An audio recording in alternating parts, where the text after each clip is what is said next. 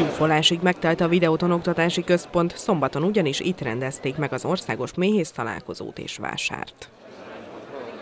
A látogatók különleges mézeket kóstolhattak a rendezvényen, a méhészek pedig számos praktikát sajátíthattak el a szakértők előadásain. Külön öröm számomra, hogy már távolabbi vidékekről is, Európa távolabbi országokból is megjelentek, sőt kiállítók is vannak. Örömmel köszöntetem itt az idén először a finnországi kiállítókat. Megyénkben a méz az egyik legkelendőbb fehér termék, hiszen számos méhész dolgozik a térségünkben. A Fehér megyei közgyűlés elnöke szerint éppen ezért különösen fontos, hogy évről évre megrendezik ezt a találkozót.